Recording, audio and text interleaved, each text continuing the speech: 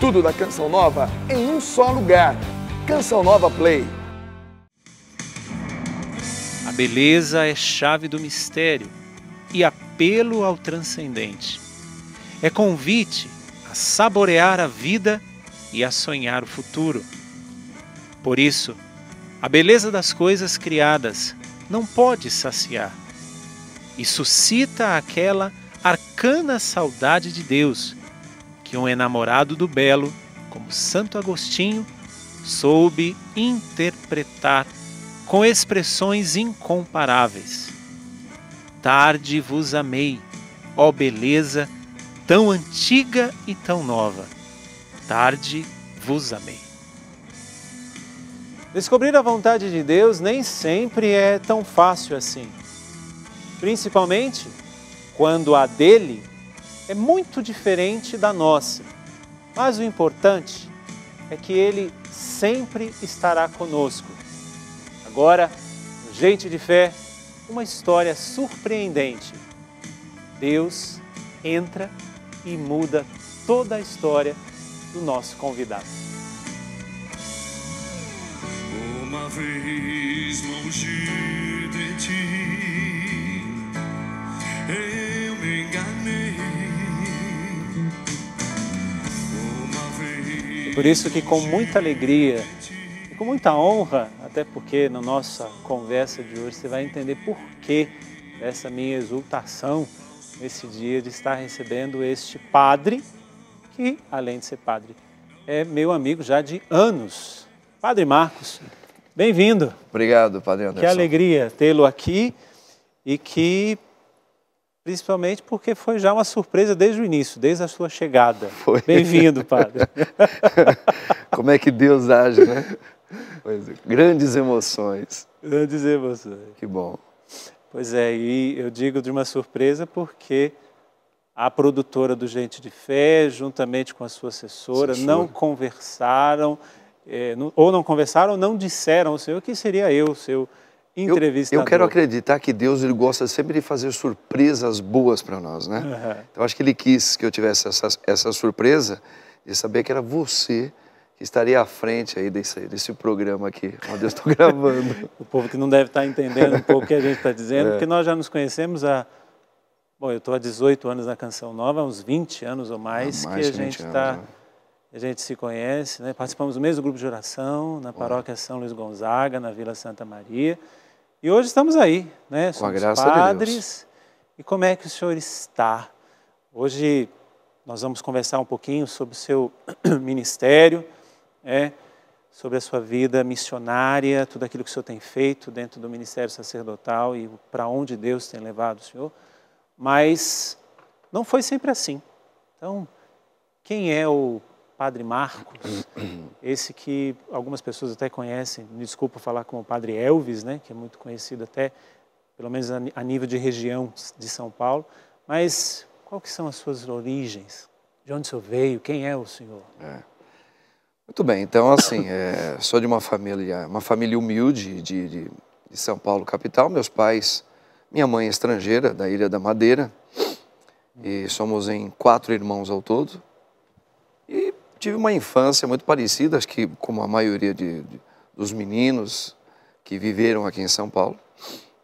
Graças a Deus nós nunca passamos de um tipo de miséria, uma necessidade, nunca nos faltou nada. Estudamos desde criança, é, tivemos uma infância, brincamos muito na rua, normal. Pois, com 15 anos eu já comecei a trabalhar também. Iniciei meu trabalho já registrado, meus irmãos também. E assim, foi, eu fui tendo uma vida aparentemente bem comum. É, namorei bastante, sempre fui fã do Elvis Presley, é por isso que as pessoas falam, porque eu sempre disse que. Só um minutinho, só para dar uma. Uma umedecida na garganta, fiquem à vontade. Sempre curti Elvis Presley, por isso que sempre o pessoal fala, ah, você gosta do Elvis? Eu gosto muito, né? Sempre admirei. Trabalhei, namorei bastante. É, Depois eu comecei a me voltar mais para a igreja, já com meus 20 anos de idade. Foi quando eu comecei mesmo a ter uma experiência vamos dizer assim, mais firme com Deus. Eu ia aos domingos, porque minha mãe nos levava, eu e meus irmãos. Mas foi aí que eu comecei a ter uma vida um pouco mais próxima por volta dos 20 anos de idade. E, coincidência ou não, foi justamente depois que eu conheci a Canção Nova pela televisão. E eu fui conhecer, fui até a Cachoeira Paulista e, e me deparei assim com uma espiritualidade totalmente diferenciada. E me tocou muito. E a partir dali eu comecei a.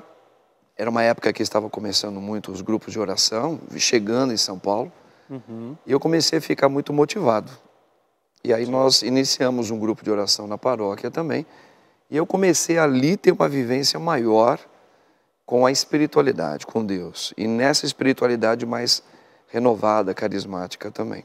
Deixa eu só voltar um pouquinho, antes de nós entrarmos nisso, porque é, o senhor disse de duas realidades. Essa experiência, primeira, do, do Elvis Presley. Sim. Então, não é apenas uma questão de, de, de semelhança, né, até pelo, pelo corte do cabelo, que às vezes as pessoas podem dizer É. isso, mas existe sim uma, uma admiração, vamos dizer, Sim. né?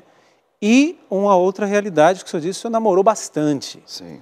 Porque as- muitas pessoas, eu falo isso principalmente para os jovens, que às vezes nos encontram e tudo, pensam que por nós sermos padres, Uhum. nós nunca tivemos essas experiências. Então, essas, juntamente com a sua base familiar, foram as suas bases que o levaram a fazer essa experiência, que chegando nessa espiritualidade da renovação carismática, como o senhor disse, é, entrou aí alguma coisa em choque?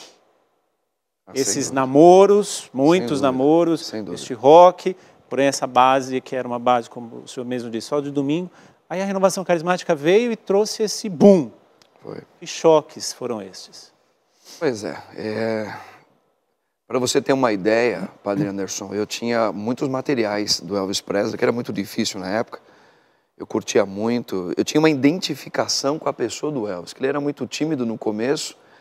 E é uma pessoa assim que ele tinha um. Eu sempre vi nele um dom, um dom de Deus muito é, apurado. Falei, um cara, ele é diferenciado, né? No seu jeito de falar, no jeito de cantar, na voz. E eu era muito tímido e eu, eu sentia que eu tinha alguma coisa dentro de mim que eu não sabia o que, que era, mas por isso a gente se identificava muito. Eu tinha muitos materiais e quando eu comecei a ter essa experiência com a renovação, começou a acontecer assim um- uma experiência muito diferente dentro de mim.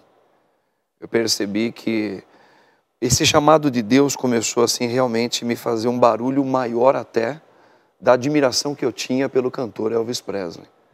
A ponto de eu pegar várias palestras da Canção Nova e chegar a ter a coragem de passar por cima de um VHS que era raro de um show do Elvis. Passei por cima de uma palestra muitas vezes do Monsenhor Jonas e outras pessoas ali da Canção Nova. E aí outra coisa, é, a, a maneira de como tratar as mulheres. Sim. Foi outra coisa, porque eu comecei a entender a questão da castidade, da pureza, o meu corpo como templo. Algo que eu não, eu não, entendia, por isso não vivia. E é, essa realidade que eu comecei a ter também com essa experiência foi me apurando em Deus para eu valorizar e entender quem eu era. Houve, começou a haver muitas curas na minha parte também, curas interiores que eu tinha de rejeição, etc. A ponto de eu começar a ter um namoro, eu tive um namoro, aliás, dois, que foi um namoro de, chamado santidade, onde a gente entende bem que é um namoro de castidade, de respeito, segundo os preceitos do nosso Deus. Deixa eu só clarear, porque às vezes as pessoas não entendem um pouco a- a- o termo, né? Um amor, Sim. um namoro de santidade é um, é um namoro que vive a sua castidade própria do namoro, Sim, né? Ou seja, sem avançar mais do que Sim. se deve avançar no namoro. Não é ter uma vida sexual ativa. Sim, assim. perfeito. Então, isso seria o- a, a castidade dentro do namoro, como, como Essas já foram as primeiras transformações na minha vida como jovem, Sim. porque eu não conseguia conter esta, os impulsos, que é muito normal na vida de um jovem, né? um jovem que, que é namorador, que chama atenção, Então a parte afetiva ela é muito forte. E uh, uma das transformações foram essa, de eu, com a graça de Deus, conseguir entender e vivenciar esse momento da minha genitalidade, né? É, e e olhar também para a mulher com outro olhar. Então essas, esses foram os booms diferentes aí, como você colocou. E vivi um, um namoro que cheguei até um noivado na minha vida. Cheguei a ficar noivo, uma moça que inclusive você conhece, que hoje está casada, graças a Sim. Deus, é, que foi uma experiência muito forte, muito válida para mim, que eu entendo até que foi um preparativo para o meu próprio sacerdócio também, me preparando como homem, como um futuro padre. Então esse esse namoro e noivado, ele foi muito rico, mas valeu para que eu tivesse também o discernimento daquilo que já estava acontecendo dentro de mim. Até então, até essas experiências nunca, nunca passaram pela sua cabeça eh, vontades, sentimentos, desejos do sacerdócio. Quando do- na infância isso nunca passou, nem um facho, nem uma luz, nada disso. Não, confesso que sim. Eu, às vezes eu sempre gostei muito de viver um momentos de solidão na minha vida. E até hoje eu gosto de ter esses momentos próprios que acredito que eh, o senhor também. Vou falar você porque nós somos Nossa, padres sim, amigos. sim, sim. É, você também deve ter, sente essa necessidade de estar só e viver uma contemplação. Então, isso eu sempre tive de menino. Entendi. Penso que já foram alguns pequenos lampejos que Deus já colocava dentro de mim. Eu sentia necessidade, às vezes eu queria ficar sozinho e gostava disso. É, e isso foram os primeiros pontos. Eu cheguei a pensar uma vez quando criança, será um dia que Deus é, quer que eu seja padre? Eu não achava uma coisa absurda, não. Isso antes da experiência, Antes da experiência, de, experiência de, de- de encontro pessoal com Jesus, vamos antes, dizer assim. antes. Mas não foi nada de uma coisa que eu determinei na minha vida, que eu tinha um desejo. Mas passava assim, como pequenos lampejos na minha vida, passou.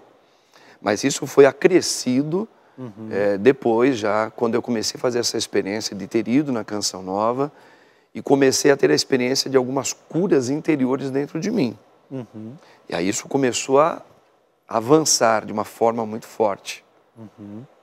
Essa experiência dessas, dessas curas, ela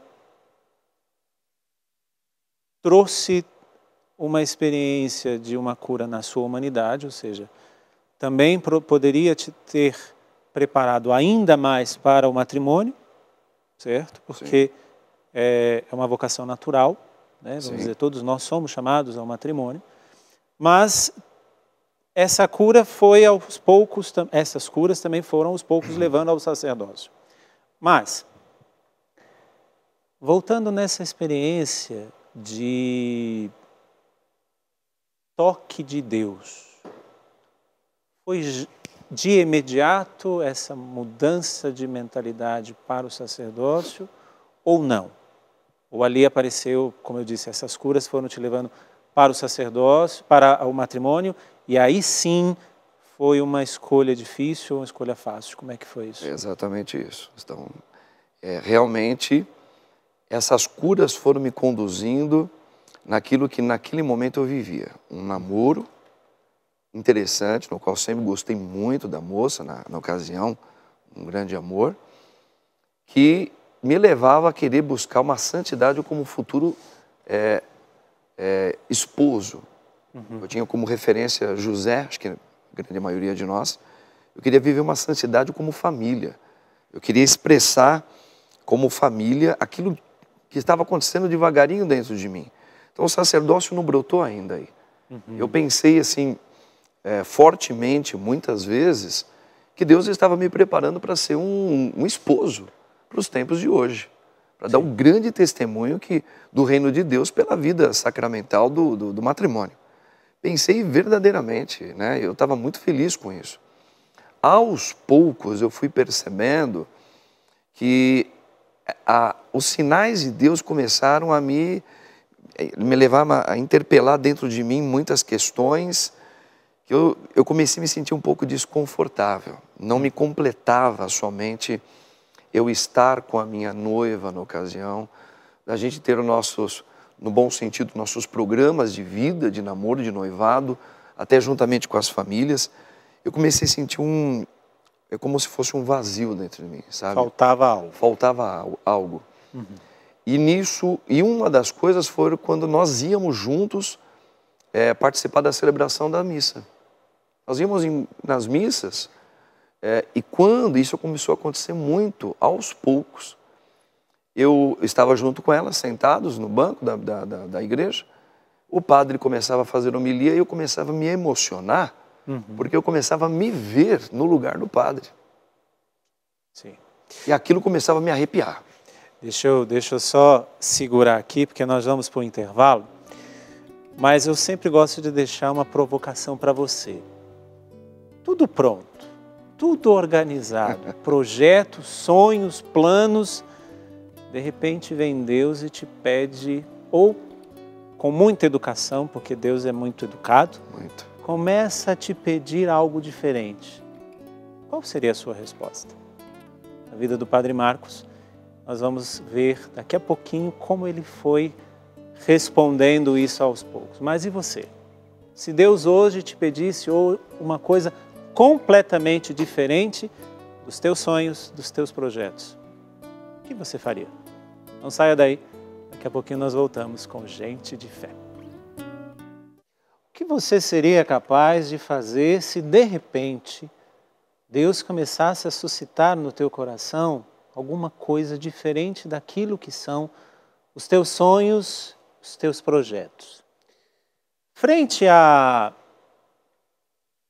aquilo que são as nossas vontades, conformá-las com a vontade de Deus nem sempre é simples. Hoje nós estamos ouvindo o testemunho do Padre Marcos Roberto Pires, conhecido muitas vezes com muito entusiasmo em alguns lugares como o Padre Elvis, até pelo seu pela sua admiração e pelo seu estilo também, que você vai ver daqui a pouquinho quando nós apresentarmos um pouquinho do seu DVD que foi gravado há pouco tempo, que de repente Deus começa a entrar na sua vida e começa a suscitá-lo em outras coisas diferentes daquelas que ele estava buscando.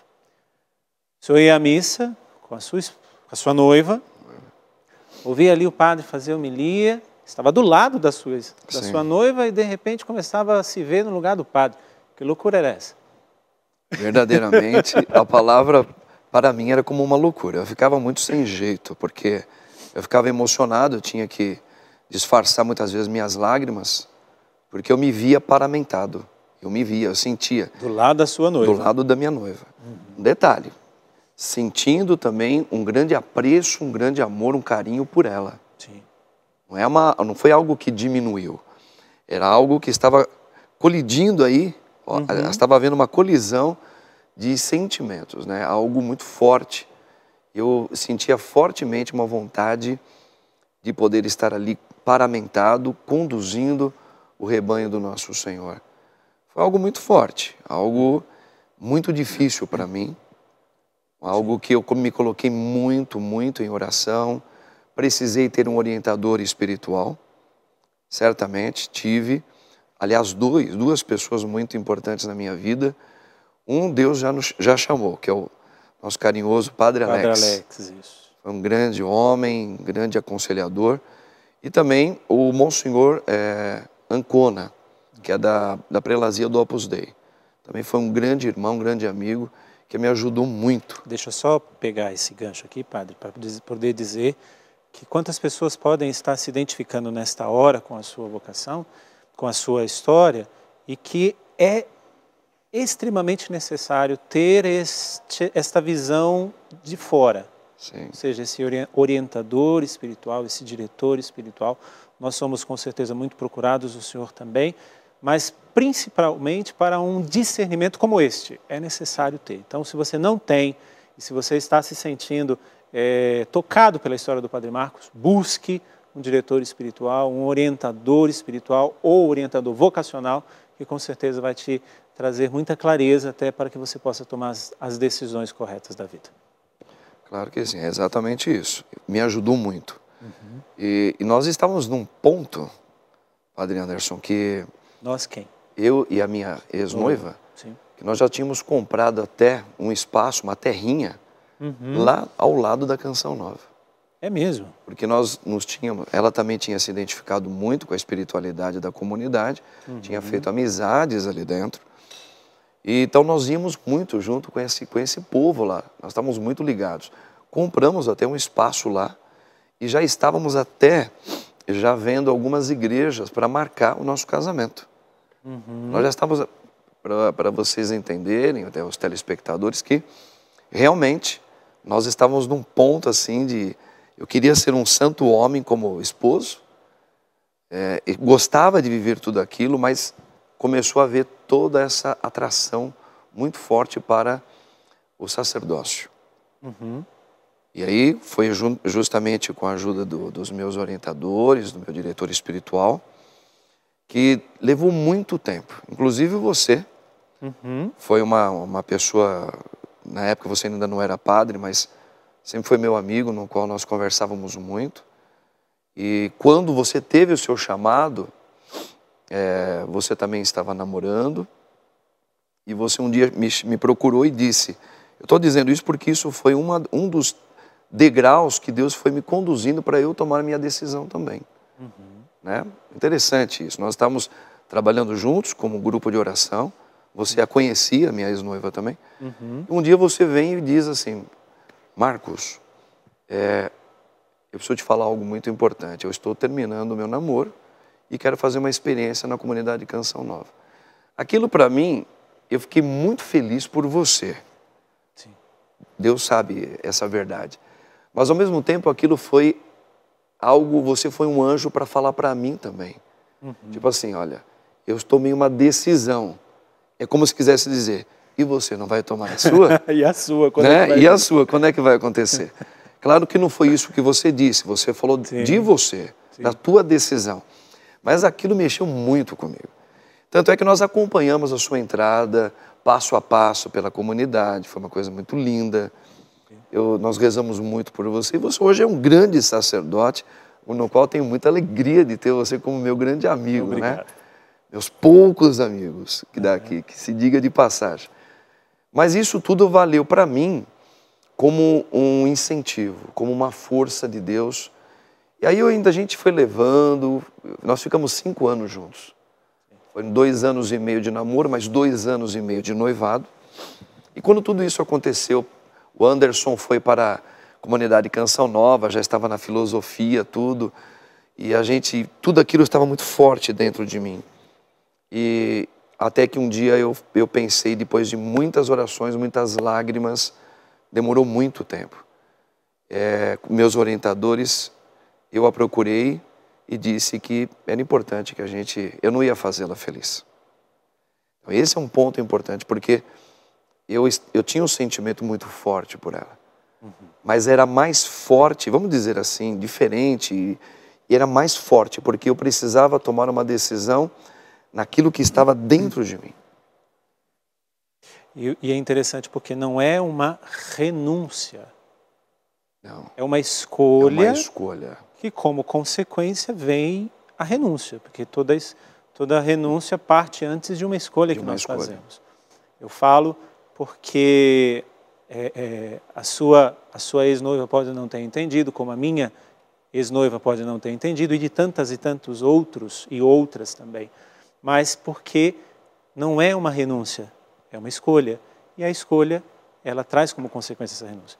E ali naquele momento você teve que escolher. Escolher. E escolhi.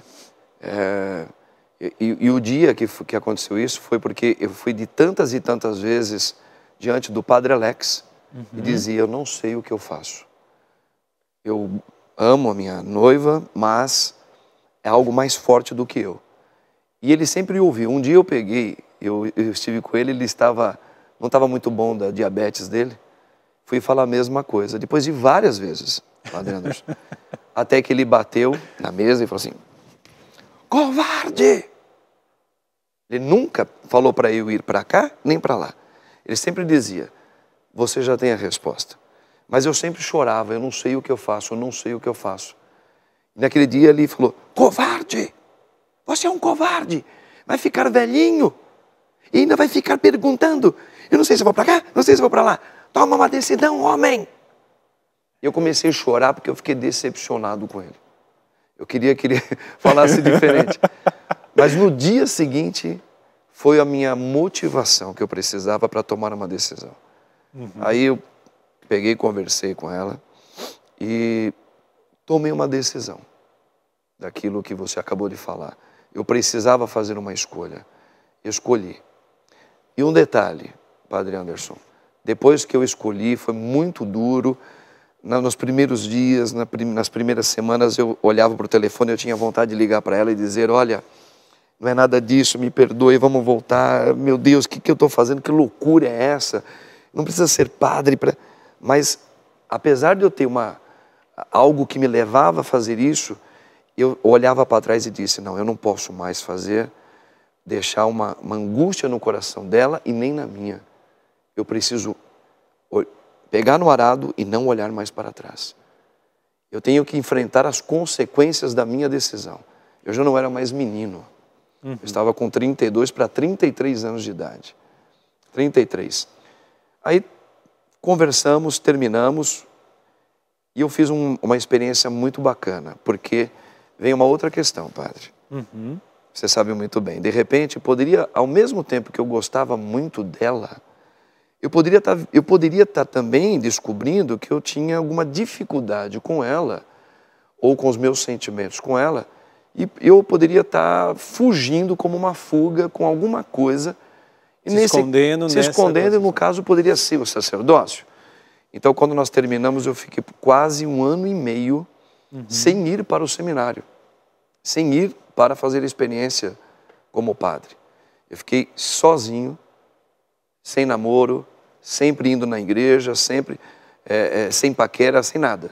E foi aí que depois de quase um ano e meio, eu vi que a- permanecia dentro de mim o desejo de ir realmente é, para o sacerdócio, para que Deus me fizesse padre.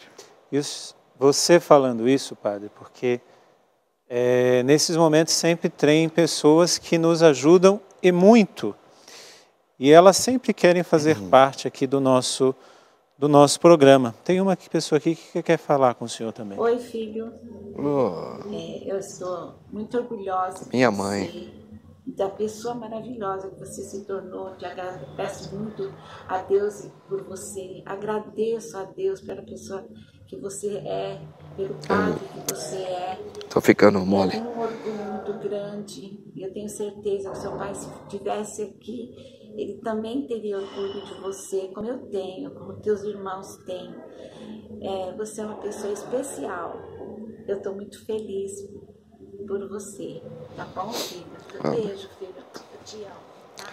Eu também, mãe. Sua bênção. Essa é a dona Almerinda. É, essa daí eu também não podia deixar de falar. Essa aí foi um grande anjo de Deus para todo esse momento da minha vida. Foi minha mãe. Pode pegar, padre. E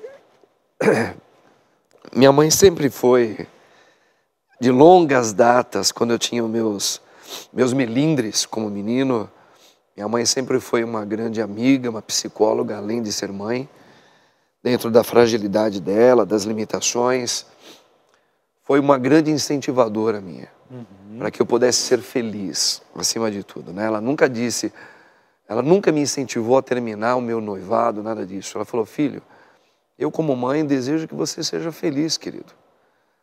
E quando eu falei para ela que eu- tudo que eu estava passando, a minha mãe orou muito. Você conhece ela também, a baixinha, Sim. né? E a minha mãe, certamente, ela foi uma, ela é até hoje uma centelha de Deus para o meu caminhar, para a minha santidade, hoje como padre. Ela ainda é a minha amiga, minha aconselha, minha, que me aconselha muita coisa. Ela muitas vezes puxa a minha orelha, como mãe, quando ela percebe que eu estou dando umas, umas escorregadinhas no meu sacerdócio, no sentido tranquilo, mas a gente às vezes vacila. Claro, claro. Então, minha mãe ela é, uma, é um instrumento de Deus muito forte para eu ter tomado a decisão também, Uhum. Ter a coragem de ir e não olhar para trás, porque nessa época o meu pai estava doente.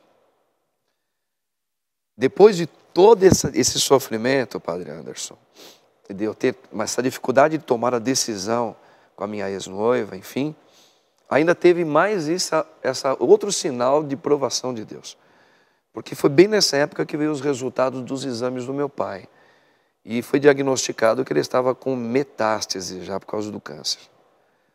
E, e eu, e foi na época que eu falei, bom, agora, agora, agora eu vou, depois de um ano e meio, para o seminário. Quando eu decidi, agora vou, veio a notícia da enfermidade do meu pai. De novo, eu falei, agora, o que, que eu faço? Eu vou embora nesta hora? Talvez que a minha mãe mais precisa, meus irmãos. Eu sabia da gravidade da Você é o doença. mais, mais velho dos irmãos? Eu sou do meio. Eu tenho meu irmão mais velho, depois vem eu, depois meu irmão mais novo, Uhum, e depois a minha irmã, que é a caçula. Sim. E aí, de novo, vivi uma pequena. Foi, essa foi curtinha. Um sofrimento também. O que, que eu faço agora, meu Deus? Eu já passei toda esse, essa dificuldade de tomar essa decisão. Quando eu decido, agora vem essa notícia do meu pai. Nós éramos- sempre fomos muito agarrados também, como família, muito unidos. E aí entrou muito o Monsenhor Vicente. Ele disse: Deus vai te dar a graça de você estar sempre perto do seu pai. Se você for ou não for para o, o- para o seminário, é, isso não vai mudar a história do teu pai. Confia no Senhor e Ele vai cuidar do que é teu. Isso me animou, eu fui, fui para o seminário.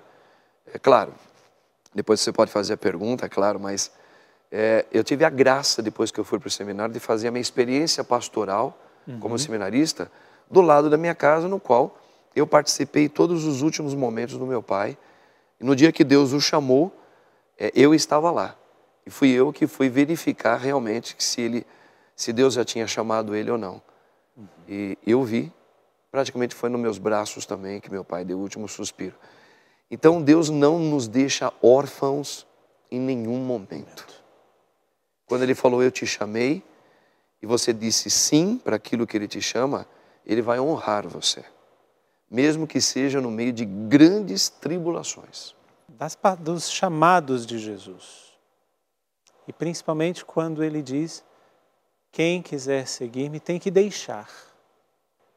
Ali foi feita a sua escolha, mas Deus, eh, vamos dizer assim, lhe agraciou de participar também deste momento, mas que houve ali o choque, a decisão, ter que ir, não ir, já tinha deixado tudo e agora mais essa situação com seu pai, com certeza é, existiu também, pode ter existido, existido também a resistência da própria família. Mas como é isso, Marco, você vai agora, o pai como está, enfim, seus irmãos, a própria sua mãe. Mas justamente para isso, o que, que você seria capaz de deixar para seguir Jesus? Não é abandonar, isso é irresponsabilidade e Deus estaria se contradizendo, porque o quarto mandamento é honrar pai e mãe. Sim. Mas o que você seria capaz de deixar para seguir a Jesus? Fique com essa pergunta e daqui a pouquinho nós voltamos com mais gente de fé. E você, o que seria capaz de deixar para seguir a Jesus? Esse Jesus que caminhou sobre as águas, esse Jesus que multiplicou os pães, esse Jesus que fez o cego enxergar, o mudo falar, o coxo andar, mas esse Jesus que também subiu a Jerusalém, subiu ao Calvário, morreu crucificado e ressuscitou no terceiro dia. É este Jesus que tem chamado você, que tem me chamado, que chama o Padre Marcos, porque o chamado continua, né, Padre? O Senhor esteve com o seu pai nesses últimos momentos dele. Depois, mais uma vez, eu creio que o Senhor viveu a experiência de ter que agora deixar, mais uma vez, que já tinha deixado para o seminário, mas agora deixar a sua família sem o seu pai. Como é que foi esse processo? Olha, não é fácil. né? Quando a gente toma decisões, como nós estamos falando aqui, todas as decisões ela têm as suas consequências. Não foi fácil, mas eu percebia que a mão de Deus estava sobre mim. É, era muito forte o, o, meu chamado, a minha vontade de servir a Deus como sacerdote. É, agora, um detalhe importante também, viu, padre, que a gente destacar, eu sempre nas minhas orações, sempre colocava para o nosso Deus, Senhor, se um dia for para eu ser um padre, que eu não ame de verdade, eu não sinta amor pelo teu povo, e se eu não puder honrar o sacerdócio conforme é, assim é pedido pela igreja, não permita que eu seja padre. Por quê? Eu já estava entrando com 33 anos. Uhum. Eu já tinha tido as experiências de trabalhar, eu lecionei, eu dei aulas, fui formado em geografia, trabalhei em, em várias empresas, tive a minha vida pessoal, pude ter meu, meu espaço, meu carro, é, enfim, namorei, fiquei noivo. É, então, assim, eu cheguei numa época, da, na- numa altura da, da, da minha vida, no qual eu, eu pensei, agora é para valer. Quando eu tomar uma decisão, eu não vou olhar mais para trás, porque eu estava cansado eh, de viver eh, experiências frustrantes, né? Porque na verdade não me saciava. Eu vivia, eu me sentia como se estivesse patinando na vida. Então, quando eu tomei essa decisão de ir para o seminário, realmente ela foi difícil, mas ao mesmo tempo eu fui encorajado pelo Espírito de Deus, junto com Nossa Senhora, onde eu dizia: se for para o Senhor me fazer padre, eu desejo, dai-me a graça de amar o teu povo e dai-me a graça de viver a santidade do sacerdócio. Eu viva literalmente aquilo que é a castidade. Eu sei que o diabo, ele vai querer, ele tenta demais todos os que se colocam a serviço do Senhor, principalmente os sacerdotes. Nós sabemos muito bem disso, não é, padre? Então, eu sei que diante das tentações, como diz uma canção aí da, da Eliane Ribeiro, não me deixe desistir, não me deixe desanimar nunca, Senhor. E assim eu vivo até hoje, animado pelo Espírito de Deus.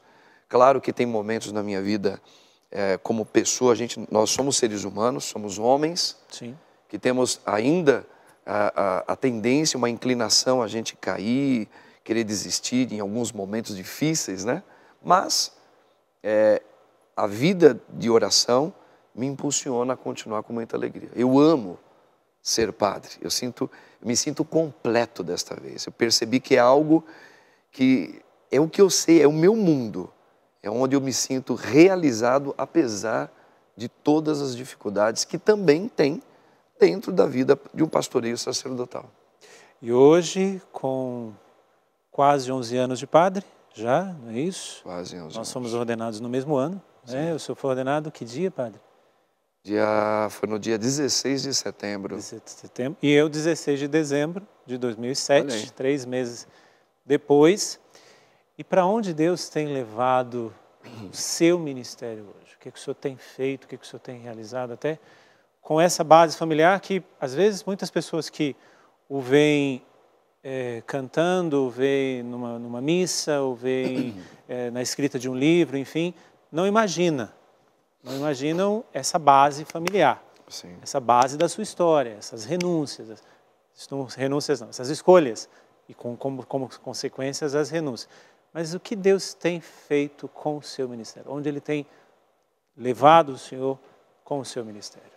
É interessante, né? A gente, você colocou muito bem a questão da família. Eu quero dizer assim que tudo que hoje eu vou relatar, onde Deus está me conduzindo, tem a ver com a minha família. Então, antes do senhor falar da sua família, tem mais gente da sua família querendo Opa. falar aqui. E, E essas pessoas, como eu disse, elas, elas gostam de fazer parte dos programas também. Oi, tio Marcos, tudo bem? oh, A gente veio aqui meus ah, sobrinhos. parabenizar você, né? Ah, a gente tem muito orgulho do, do tio que você é, não é verdade? É. Do padre que você é também, a gente vai sempre nas suas missas, né? Tudo de bom sempre. Tudo de bom sempre para você. É, a gente ama muito você, né? A gente quer sempre te ver muito feliz, né? E é isso aí. Fica com Deus. Um beijo e tamo junto. Tamo junto. Ah, meu Deus do céu. Eu tô falando, é, eu acho que eu tô ficando mole, viu, padre? Ah, é? Pô, como é que eu, eu vivo agora chorando? Não sei o que está acontecendo comigo, né? Mas É, é, emoção, meus sobrinhos, eu amo muito, faz parte da minha. Estão grandes. São grandes, né? É. É, aí tá o, o Rafael, o João Pedro e a Maria Clara. Estamos sempre juntos, unidos aí. Nos meus passeios eu sempre levo eles aí. Bacana. Então, a família é o alicerce de tudo, no qual é, eu costumo sempre dizer, por exemplo, eu nunca imaginei na minha vida, mas como Deus é maravilhoso. Sempre fui um rapaz muito tímido. No meu passado eu tinha um problema seríssimo de insegurança. Né? Eu tinha dificuldade de memorizar as coisas. Minha mãe tinha que mandar um, um, um papel para eu comprar três coisas no mercado para você ver a minha insegurança onde chegava. E depois, no meu ministério, já des- desde a época do grupo de oração, mas principalmente depois de ordenado padre, o Espírito de Deus foi me conduzindo para algo que eu nunca imaginei. Por exemplo, trabalhar justamente com uma espiritualidade de cura, cura e libertação, cura interior. E eu que precisava tanto na, na, na minha vida ser curado. Mas hoje eu entendo por que, que Deus foi escolhendo alguém cheio de dificuldades, foi preparando, foi atraindo, foi conduzindo e foi curando, porque Ele estava me preparando no meu sacerdócio esse dom que é dele, de trabalhar a oração, o poder da oração, rezar com o povo. E outra coisa, entra aí o Elvis Presley, que é um filho de Deus também. A gente nunca pode descartar. Justo. O Elvis sempre foi uma inspiração para mim em relação ao, ao artista e a capacidade dele cantar. E eu percebi que eu gosto de cantar. E quando eu estou ali à frente das santas celebrações da missa, eu percebi algo diferente. Que quando eu estou trabalhando a palavra de Deus, eu gosto muito de acoplar a música junto. Então, Eu canto, descobri, eu nunca, eu não sou um cantor, mas eu canto para Deus com muita alegria e acabou dando certo. O povo gosta muito, se identificou. E eu tenho também músicos que me ajudam, né? Também eu não faço nada sozinho. E eu percebi que através da música, da oração e da palavra, Deus foi conduzindo o meu ministério. Junto com isso, eu descobri outra coisa que jamais na minha vida eu pensei que no sacerdócio Deus ia trabalhar em mim. A questão de ser um padre construtor também de templo, templo físico também. Sim. Isso eu não posso, não posso negar, porque a sua, a igreja que o senhor construiu é belíssima, Santíssima Trindade. É, Para quem não conhece, vai ter aí daqui a pouco o GC embaixo com o endereço da paróquia para você conhecer. Vai ficar é, é, admirado com a beleza, não somente a construção de um templo, mas a beleza própria para Deus do para templo. Deus. Pois é, então tudo isso foi acontecendo, foi chamando a atenção de muitas pessoas, dos bispos também, etc. Até que apareceu um dia uma repórter da revista Veja e disse: Padre, nós queremos fazer aqui uma reportagem contigo. O senhor, querendo ou não dar a entrevista, falou assim: Nós vamos falar do senhor. Esses repórteres são bem assim, É, padre. são bem assim, não são? São. Eu fiquei assustado, confesso. Eu falei, não, então é melhor eu. Até conversei com o cardeal, que aliás, um detalhe: tudo que eu faço na minha vida, eu sempre comunico ao meu bispo. No caso, Dom Odilo, Pedro Scherer. E aí, a sua bênção também, Dom Odilo, se o senhor estiver nos assistindo, um dia assistir, sempre com a bênção do bispo. Conversei com ele, ele falou, então é melhor você dar entrevista para eles não falarem bobagem. E assim eu dei a, eh, a entrevista, foram seis páginas na revistinha A Vejinha São Paulo, Sim. as páginas amarelas. E naquele momento, dali surgiu outras coisas que eu também não esperei que Deus estava preparando. Veio pessoas falando, padre, vamos escrever um livro. O senhor que está aparecendo aí como, eles disseram, um fenômeno em São Paulo, né? Sim. Aí eu acabei aceitando escrever um livro pela editora Petra, na ocasião. Depois veio a Universal Music, que aliás antes eu tinha gravado um CD já particular meu, o povo queria, mas depois por causa da revista Veja, acendeu o interesse da Universal Music, gravei um CD, O Senhor é Rei, junto com o povo, foi muito bonito, muito lindo. O livro, e, e foi aí nascendo mais e mais, né? Por exemplo, hoje, no dia 4 de maio agora, nós lançamos o meu DVD, o primeiro DVD, é, também com a participação do meu povo lá na Santíssima Trindade. Gravou, foi gravado na própria igreja. Não, não, ele foi gravado num espaço que é alugado mesmo para eventos. É, eu não fiz o evento dentro da igreja, fiz fora, mas ficou lindo. Sim. E já está aí, nós estamos colocando no mercado para as pessoas, para evangelizar o povo. E também o meu segundo livro, que é pela Loyola agora, né? Editora Loyola, que é Deus não para de nos atrair. Né? Deus não para. que não para de nos atrair. Provocativo. provocativo. Né? Então tá aí também. Então assim, são, foram todas essas coisas que de repente no meu, no meu chamado Deus foi me conduzindo a realizar, a participar também, algo que eu jamais imaginaria que um dia ia acontecer. E eu tenho conhecimento, sou até um pouco suspeito de dizer aqui, porque é, uma coisa é entrevistar alguém que eu não conheço ou que eu tenho a oportunidade de conhecer naquele momento. Outra coisa é conhecer, é, entrevistar você pela experiência, pela amizade que nós temos, enfim, que já já ultrapassa aí os seus 20 anos. né? Mas a alegria de ver o que Deus tem feito no seu povo através do seu ministério, através da sua vida, através da sua escolha de ser é, todo de Deus. Nós vamos terminar já o programa, passar muito rápido, mas eu queria que o senhor fizesse agora. Quantas pessoas podem ter se sentido até mesmo provocados ou provocadas pela sua história, pela sua vocação? Para essa câmera aqui, padre. É bom seguir Jesus? Eu queria que o senhor respondesse. E, é, e vale a pena deixar tudo? Porque numa da, do seu, seu DVD, DVD não, o CD, tem uma das músicas que o senhor fala, né, que, que o senhor já deixou muita coisa, agora não me recordo qual era a música, mas o senhor fala é, é, que deixou família, deixou isso, para seguir esse Jesus.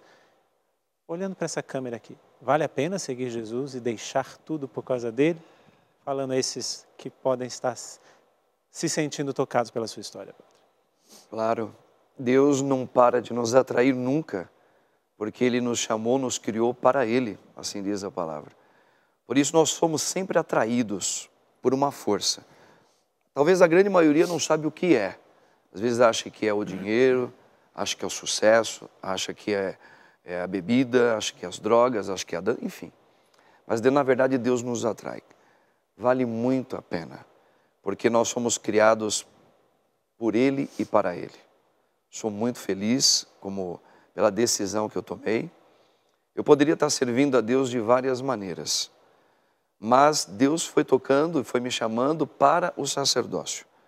Se você tem aí, é, certamente você tem decisões a tomar, ou se você não tem coragem, se coloque de joelhos muitas vezes junto com a mãe, Nossa Senhora, como eu fiz, junto com a mãe.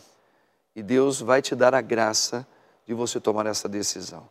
Vale a pena e as, e a, as consequências da sua decisão em Deus sempre, sempre são as melhores. Padre, agradeço muito a sua vinda.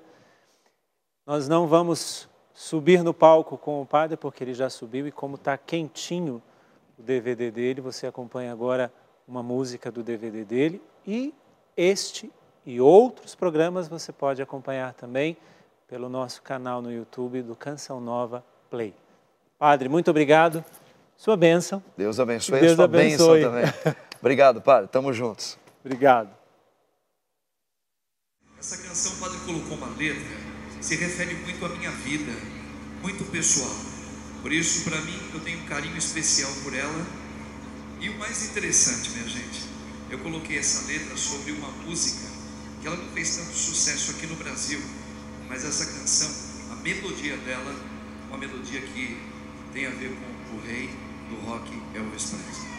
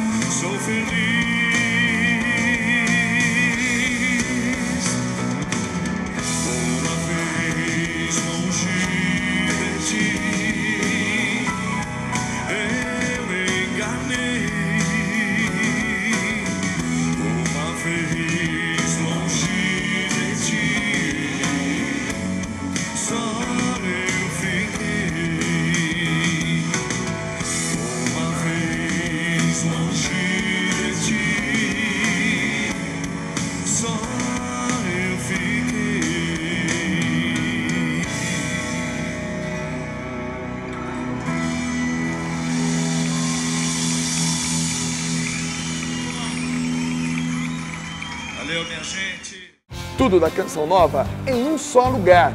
Canção Nova Play.